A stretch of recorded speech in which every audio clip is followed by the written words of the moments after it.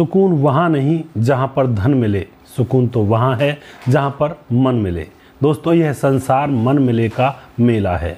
अगर यहाँ पर मन नहीं मिलते हैं लोगों के तो यहाँ पर न जाने क्या क्या कृत्य होते हैं और एक दूसरे की जान के प्यासे बन जाते हैं लोग। आज की घटना कुछ इसी के ऊपर डिपेंड है। सगाई के बाद युवक अपनी मंगेतर की हत्या करता है, बीच खेत के अंदर, फिर उसके सर को काटता है और सर को मुंडी को पकड़कर हिलाता हुआ पूरे गाँव से गुजर जाता है। दोस्तों, उसके बाद जो होता है, एक बहुत बड़ा खुलासा यहाँ पर होता है। पूरी जानकारी लेने के लिए वीडियो को अंत तक ज़रूर देखिएगा। नमस्कार, मैं हूँ सुदेश कुमार और तिरछी बात चैनल में आपका स्वागत है। दोस्तों, हम यह वीडियोस इसलिए लेकर आते हैं जिससे कि लोगों के अंदर जागरूकता बढ़े। छोटी छोटी गलतियों से ही बड़े बड़े कबाड़े होते हैं तो हो सके तो पहले से ही वो छोटी गलतियाँ ना करें तो बड़ी घटना नहीं घटेगी। इसलिए हम इन वीडियोज़ को लेकर आते हैं जिससे कि लोगों को सीख मिले कि भाई, उस आदमी ने ऐसे किया था तो उसके साथ ऐसा हो गया। तो कभी भी इन गलतियों को ना करें। इसीलिए हमारी कोशिश रहती है कि आप लोगों को सही दिशा पर और सही दिशा और दशा दोनों देने का हम यहाँ पर पूरा प्रयास करते हैं। दोस्तों, यह घटना कर्नाटक के हमियाला गाँव की है और हमियाला गाँव के अंदर एक शुभ मींड नाम का एक व्यक्ति रहा करता है। उसकी पत्नी है, पत्नी का नाम मुतखमी है और बेटी है उनकी। एक बेटी का नाम मीना है, मीना पंद्रह साल की है। कुछ दिन पहले ही मीना की सगाई की थी इस परिवार ने। और जो लड़का होता है, उसका नाम होता है औरा कप्पा और औरा कप्पा बत्तीस साल का होता है। और 32 साल के लड़के से इस परिवार ने अपनी 15 साल की लड़की की सगाई कर दी थी और शादी की तैयारियों में यह परिवार जुटा हुआ था।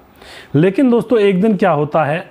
गाँव के अंदर जो लड़की होती है मीना, वह गायब हो जाती है। माँ बाप कहते हैं कि कहाँ गई, आखिर किसके घर पर गई है?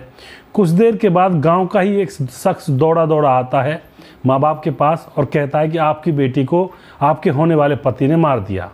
खेतों में मार रहा है। माँ बाप वहाँ पर भाग कर पहुँचते हैं, लेकिन तब तक वह उनकी बेटी को मार कर वहाँ से फरार हो चुका था। दोस्तों वह उस लड़की को खेतों के बीच में मार रहा था तो और भी लोग वहाँ पर आ जाते हैं। सारा तमाशा देख रहे थे, लेकिन खूब बचाने की कोशिश की, लेकिन वह इतने में उस लड़की को मार चुका था। मारने के बाद उसकी गर्दन को पकड़कर, बालों को पकड़कर पूरे गाँव में से गुजरता हुआ निकलता और वहाँ से फरार हो जाता है। किसी के भी हत्ते वह नहीं चढ़ता है।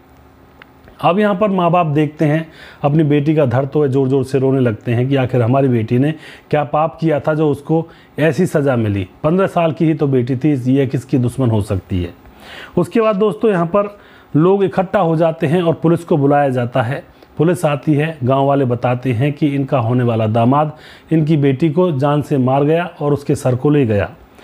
पुलिस माँ बाप से पूछताछ करती है तो माँ बाप भी कहते हैं कि, जी साहब, हमने पंद्रह दिन पहले अपनी बेटी की सगाई उस व्यक्ति से की थी, और कप्पा से, और हमने सोचा इसके पास पैसे हैं, और पैसों की वजह से हमने सगाई की, पैसों की वजह से इसलिए सगाई की कि बेटी मौज में रहेगी ज़िंदगी भर, लेकिन हमें क्या पता था कि वही हमारी बेटी को मार जाएगा। अब दोस्तों, यहाँ पर क्या होता है? वह बताते हैं घर वाले कि हमने सगाई तो कर दी थी लेकिन किसी ने चाइल्ड मैरिज ब्यूरो वालों के पास फ़ोन कर दिया और बता दिया कि लड़की नाबालिग है और ये लोग उसकी शादी एक बत्तीस साल के पुरुष से कर रहे हैं। चाइल्ड मैरिज ब्यूरो वाले घर पर आते हैं और माँ बाप को डराते हैं कि अगर तुमने उस बच्ची की शादी की तो पॉक्सो एक्ट लगा दिया जाएगा और तुम जेल में जाओगे। वह अभी नाबालिग है, उसकी शादी तुम नहीं कर सकते हो। दोस्तों माँ बाप डर जाते हैं और माँ बाप से वह यह कह देते हैं कि 18 साल की जब हो जाए तब शादी कर लेना।